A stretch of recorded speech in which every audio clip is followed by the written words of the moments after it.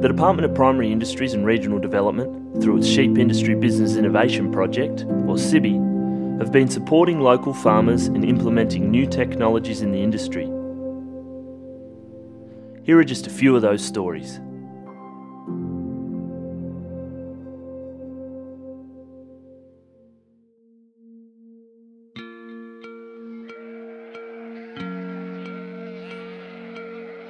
Everyone that's getting out of sheep saying, oh, it's too bloody hard. It's, it's not hard. Sheep work's not hard if you've got good facilities. And it doesn't have to be expensive to be good. Yeah, my name's Chris Patmore. Um, my wife Robin and I run a farm here at Eneabba. About six years ago, I, I invested in a remote monitoring outfit with 15 cameras. It, it allows me to, to do other things around the farm that probably wouldn't be getting done while I'm wasting time driving around checking troughs. So um, my farm improvement program is, is taking a step up, fencing and laneways and that sort of stuff. It allows me to, to leave the sheep uh, without um, physically checking them and I can just check them on the phone. This remote monitoring setup is well and truly worth it. Chris has managed to save over $23,000 a year. Yeah, peace of mind while you're away. Yep, and, and better time management when you're home.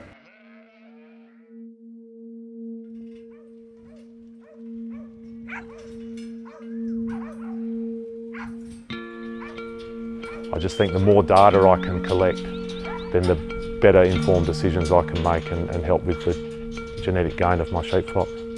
I'm Wayne Peck. We farm 13,500 hectares. We've now done three years of tagging sheep with uh, their own EID tag. What it's giving me is a lot more information. So now I, I put all of that data together and I'm using that as well as uh, visually selecting our best sheep and get rid of the, the non-performers, uh, either into a, into a lower base flock or, or sell them altogether. Our breeding objective, we've got to collect as much data on so many different traits, is what we need to do to keep going in the direction we want to go. Uh, yeah, I'm Hamish Thompson, um, run a mixed farming enterprise, yeah, breeding seed stock rams for commercial growers in throughout Australia and, and overseas.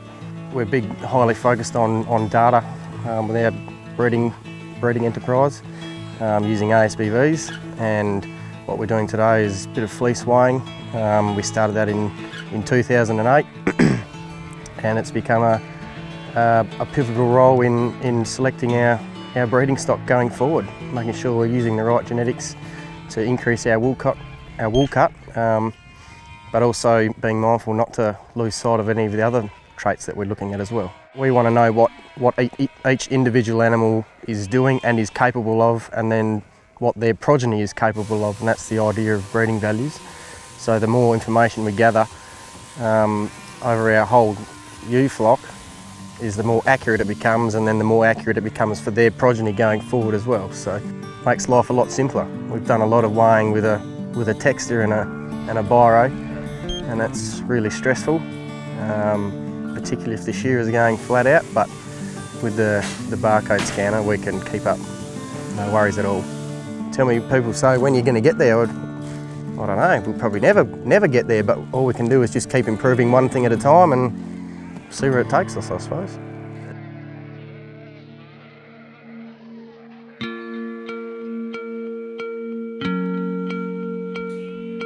Worm resistance in general throughout the, the state is becoming a problem and we've got to use all the tools at our disposal to, to combat. My name's Scott Newby, I'm on a family property at Broome Hill. We've been here for a long time, over a century. We're putting in 2,000 hectares of crop and running about 3,000 sheep and we're looking to incorporate more sheep technologies in our farm. Normally we drench with um, ordinary drench gun based on approximate heaviest animal weight. Um, but generally there's always a few outliers, there's a few fatties in there that are well overweight. Um, so they're getting under drenched and obviously the smaller sheep in that practice are getting well over drenched. Um, so there's, there's wastage of product as well as potential for um, resistance occurring in those larger animals who aren't getting an adequate dose rate. So this product solves both of those problems. We're trialling the Automed gun, using it with the sheep handler that we've got to drench sheep based on their body weights. Um, using premium um, drench products, there's potential for real savings in drenching based on body weight and reduce problems with worm resistance with drenching at the correct weights. Yeah, it's, it's got real promise for some, some good financial return and some good animal health benefits as well. Going forward, this technology is it's just the way of the future. It's where we're going.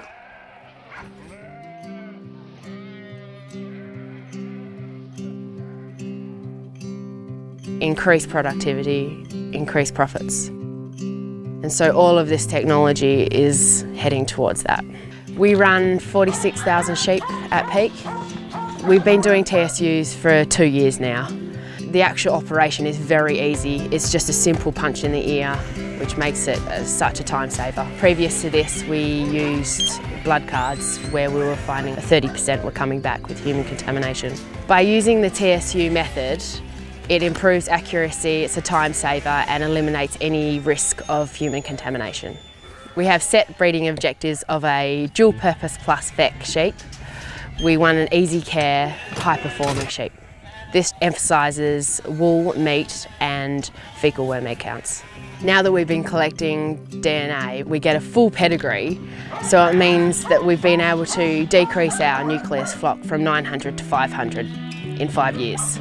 People have this general opinion that running sheep is hard, but it doesn't have to be. And by using this new, these new sheep handlers, technology, the DNA, can make it so much simpler and easier. And you want to come to work the next day.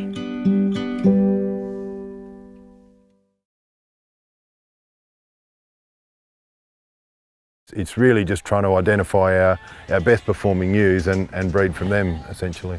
So I farm um, 30 k's east of Wagin with my wife Polly and three young boys. We're farming 4,900 hectares, um, basically a 70-30 mixed cropping sheep farm. Last year we did a trial, trialling some proximity sensors with the Ag Department and uh, just really looking at our twin mobs, which ewes were raising two lambs and which, uh, which were only raising one. If a ewe lamb is born out of a ewe that, you know, that has raised two and, and has raised two heavy lambs, well, we're hoping that that ewe lamb will be likely to perform like that in the future. So these are the two proximity sensors there, obviously one, one for the ewe and uh, one for the lamb. As with any technology, as it gets uh, more user-friendly and, and more cost-effective, it's something that we, uh, we would look at using. There's two benefits that we focused on, generational benefit and the genetic benefit. The genetic benefit is about trying to push the top of the flock higher and the generational benefit is about how do we remove that bottom end and take them out of the flock. This technology is all new. As costs come down over time, then the economics are going to change significantly. Guys are probably looking at their sheep enterprise and looking at how they can can start boosting pro productivity and, um, and using technology to do that. Yeah, no, I think the outlook for, for the WA sheep industry is very positive. The Department of Primary Industries and Regional Development, through its Sheep Industry Business Innovation Project, made possible by royalties for regions, is supporting and sharing new technologies in the sheep industry. This is improving labour efficiency in the sector and making it easier all round to run sheep.